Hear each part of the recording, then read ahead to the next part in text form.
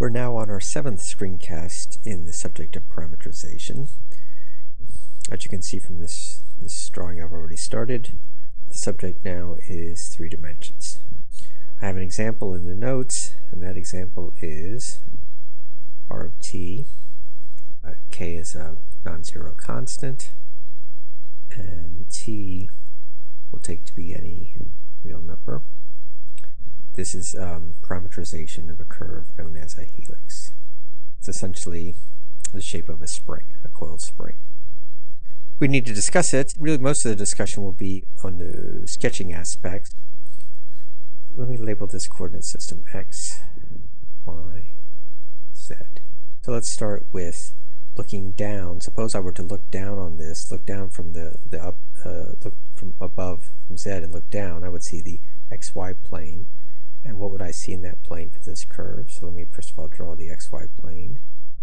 And I actually want to draw it, to me it seems that if I were looking down on this to relate this, this little coordinate system to what I see here looking down, I feel it's natural, so I'm going to do it that way, to put this as x and that is y. Right, so in this plane, if I, I, I don't see the z, the variation in z, all I see is this, well you'll immediately recognize that it's a circle of radius r. So the, the curve, the three-dimensional, this three-dimensional curve, in terms of uh, if I leave out the variation in z because I can't see it because I'm looking straight down, uh, is just a circle of radius r. So it's a radius r. What that means is whatever the actual curve is, whatever the actual curve is, because it must lie on this uh, circle of radius r, it effectively must lie on a cylinder in, the, in this three-dimensional space. Now I've sketched here a cylinder in anticipation of this. Perhaps not so necessary for this particular curve.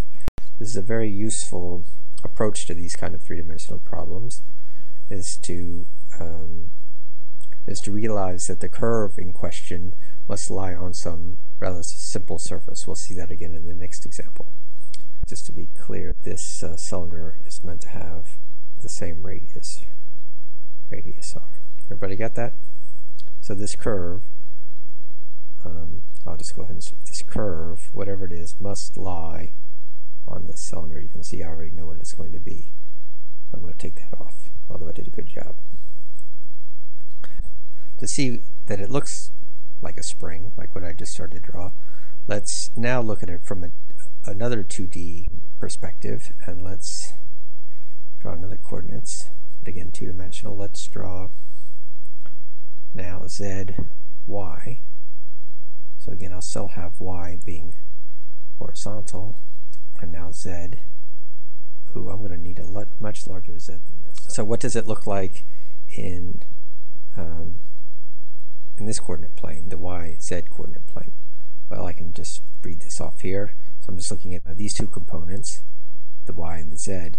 Well, what I'm going to do is, uh, I guess I'll just do it here. So z is equal to kt. Unfortunately, k is not equal to 0, therefore I can solve for t. t is equal to z over k. And now I have t, and I can plug it in here to y. So y is equal to r sine t. That is to say, it's equal to r sine z over k. Let's repeat that y. So, um, in fact, let's bring that down just a little bit more. So that then is what I want to plot over here. If I look, z, uh, y varies uh, sinusoidally as a, a, function of z. It'll start, it'll go through 0 when z is 0, y is 0, and then it'll repeat every at that point that is now when z is 2 pi times k. So this is 2 pi k minus 2 pi k. And then the magnitude of the, of, of the oscillation is r, so I'll assume that this roughly the same as that. So this is, I mean this, like this, like this. But we need to do a full oscillation. Sorry. Yeah, that should give me some idea of where I want to hit. Alright, so uh, I must have that wrong, because I need to go back to zero. This point is probably not quite right. I'll just start to draw it. So it's going to be sinusoidal. It's going to go to R, back through 0, etc. And the other way around.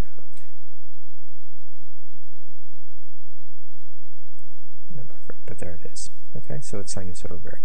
So even now from here you can see that you can see that this kind of this sinusoidal oscillation looks what you might expect a spring to look like if you looked at it looked at it edge. So maybe you didn't need all this in this particular case, but it's a useful useful approach is to, to look in different um, two-dimensional coordinate planes where you can probably get a better handle on what the on what the curve is. So with this in mind, I will now go and sketch the full thing. So I, I know that when, let's do, when, when t is 0, then z is 0, or uh, x is 1 and y is 0. So I'm going to start here. That's where the curve is going to start. And I'm not going to worry about it getting um, uh, what's called the pitch. That is to say this distance, this distance here, uh, exactly right. Let's just let's just sketch something here. All right, so let's have a go. I'll start here, and I go up and around, and